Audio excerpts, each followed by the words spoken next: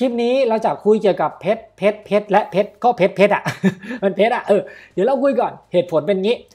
อ่าก่อนหน้านี้ผมเคยลงไปแล้วว่าเก็บเพชรได้เท่าไหร่เนาะในตอน 5 ปีคือคนถามมาเป็นระยะระยะถามมาเป็นเรื่อย ๆ เดี๋ยวคลิปนี้มาอีกแล้วถามมาเป็นระยะเลยโอเค เดี๋ยวเรามาเข้าเรื่องเลยดีกว่าทำไมต้องคุยก่อน เพราะถ้าตอนนี้เรียกว่าเป็นช่วงก้ากึ่งแล้วนะก้ากึ่งคือถ้าคุณไม่เก็บอาจจะไม่ทันแล้วนะ อันนี้คือกูเตือนแล้วนะ กูเตือนแล้วนะ มาเดี๋ยวผมเฉลี่ยให้ก่อนอที่ผมอัดคลิปวันนี้คือสิ้นเดือนตุลาเนาะยี่แปดยี่เก้าสาสิบตีแบบนี้เลยก็ได้ เรานับกันใหม่คือวันที่1นะครับ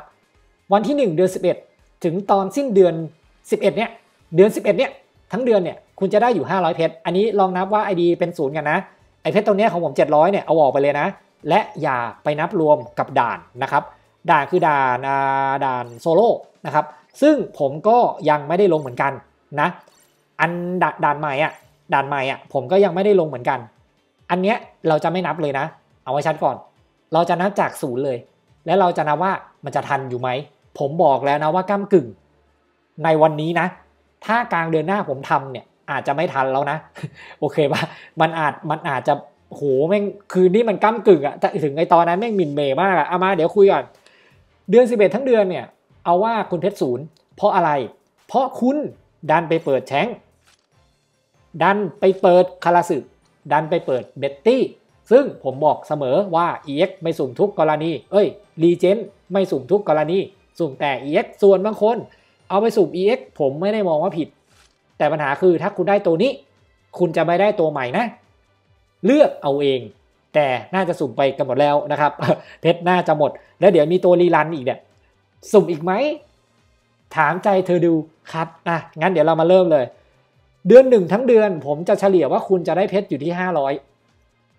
500 4ถึง600 มันเฉลี่ยประมาณนี้ แต่ผมจะเฉลี่ยแค่ 500เคนะ และวันที่ 1 ถึงกลางเดือนธันวาคม คุณจะได้อีกประมาณ 250 รวมกันเนี่ยเดือนครึ่ง 750 จบตรงนี้ก่อน ทดไว้ ทดไว้นะครับ หลังจากนั้นเราก็มาที่กลางเดือน ธันวามันเป็นช่วงจำเฟสตาซึ่งตอนนี้น่าจะไม่รอดคือริวคุกิวเป็น EX ตัวแรก ตัวแทรกก่อน 5 ปีนะครับ ตัวแทรกก่อน 5 ปีนะ ตัวแรกคือกลางเดือนธันวานะ มาละ นับดีๆนะ เพชรมี 750 เดือนไหนที่มี EX บวกไปเลยครับ 1,000 ชัดนะ ชัดนะ ก็คือเดือนอตั้งแต่กลางเดือนธันวาถึงกลางเดือนมกราเนี่ย คุณจะได้ 1,000 บวกไปเลยครับ 1,750 ที่คุณจะมี อันดับต่อมาจะมี EX ตัวแรกมา น่าจะปลายเดือนมกราโดยเฉลี่ยนะ หรือไม่ก็มาก่อนที่ตู้ริวคุกิวจะออก ซึ่งแน่นอนครับเดือนนั้นมาคุณจะได้อีก 1,000 ครับอะบวกไปอีกครับกลางเดือนกุมภาละกลางเดือนกุมภาบวกอีก 1,000 เป็นเป็นเท่าไหร่ 2,750 ถูกไหมเอาละทีนี้เดือนสุดท้ายครับ ตัว EX อีกตัวหนึ่งที่จะมาก็คือกลางเดือนกุมภาถึงกลางเดือนมีนาคม บวกไปอีก 1,000 มันจะได้อยู่ที่ 750 อันนี้คือที่ผมเฉลี่ยนะ เอาง่ายๆเลยคือถ้าคุณเก็บตั้งแต่เดือน 1 พฤศจิกาเดือน 1 เดือน 11 เนี่ย ถึงกลางเดือนมีนาคุณจะได้อยู่ 3,750 เพชร แน่นอนครับว่าคุณน่าจะการันตี EX แน่ๆ 1 ตัวครับ ไอตัว 2 ตัวแรกเนี่ยอาจจะไม่ทันด้วย เพราะเพชรมันไม่พอ ที่เหลือคุณต้องไปลุ้นว่ามันจะการันตีเท่าไหร่ ซึ่งหลายๆคนถามผมกำนาเฮ้ย เพชรผมมันจะพอไหมมันจะทันไหมตอนนี้มีเพชรอยู่แล้ว 1,000 จะทันหรือเปล่าอะไรเงี้ย ผมอยากตอบแบบนี้ กูไม่ใช่เจมเอาให้ชัดก่อน 2 ผมไม่รู้ว่ารอบนี้การันตีเท่าไหร่ คุณลองสังเกตดูนะ ต้นปีอะแม่ใหญ่พันแปดไคโดสองพันห้าตกท้ายด้วยโซโลสามพันสองอันดับต่อมายามาโตะสองพันห้านะครับ ตามด้วยคิดรอสามพันสองและนิกะสามพันแปดคุณเห็นอะไรไหม จริง ๆ อย่างยามาโตะเป็นตัวแทรกมันต้องพันแปดใช่ไหมเออทำไมแม่งมาสองพันห้าชัดปะชัดนะ ที่ผมต้องการจะบอกนะ เนี่ยมันเป็นปัญหาตรงนี้ ผมไม่รู้ครับว่ามันจะการันตีเท่าไหร่ ถ้าเอาเลทที่ผมเข้าใจเนี่ยสามพันแปดร้อยห้าสิบเข้าใจยังที่ผมบอกว่ามันก้ากึ่งแล้วเนี่ย อันนี้คือตัวสุดท้ายนะ ผมนับว่าตัวสุดท้ายนะ คือเดือนกุมภาถึงกลางเดือนมีนา ตัวสุดท้ายคุณจะได้อยู่ 3,750 เพชร ยังไม่ถึง 3,800 นะครับ นิกาการันตีอยู่ 3,800 นะ คุณอาจจะยังต้องเติมเงิน 1,000 บาทอยู่เลย เข้าใจที่ผมต้องการจะสื่อเนาะ เนี่ยผมเลยบอกว่ามันก้ากึ่งแล้วนะ ถ้าคุณยังใช้เพชรอีก ไม่ทันแล้วนะ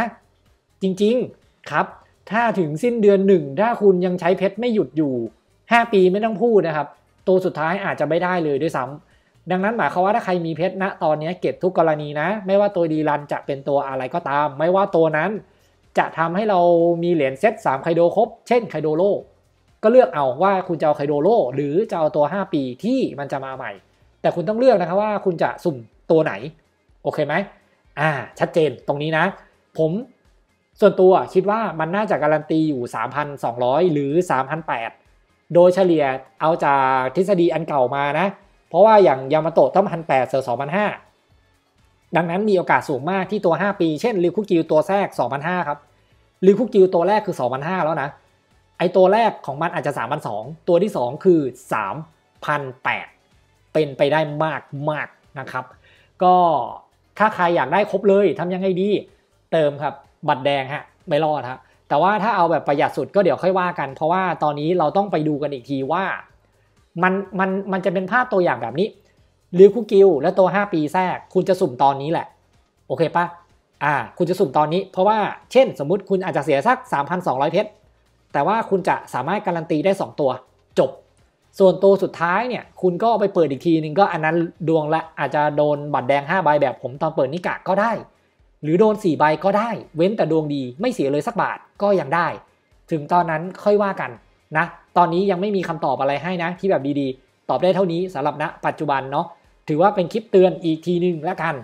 เดี๋ยวผมน่าจะทำคลิปประมาณนี้อีกทีตอนสิ้นเดือน 11 แล้วเดี๋ยวเราค่อยมาคุยกันนะ ว่าใครเพชรเหลือหรือไม่เหลือแต่เพชรไม่เหลือผมช่วยไม่ได้นะทำคลิปบอกแล้วนะครับ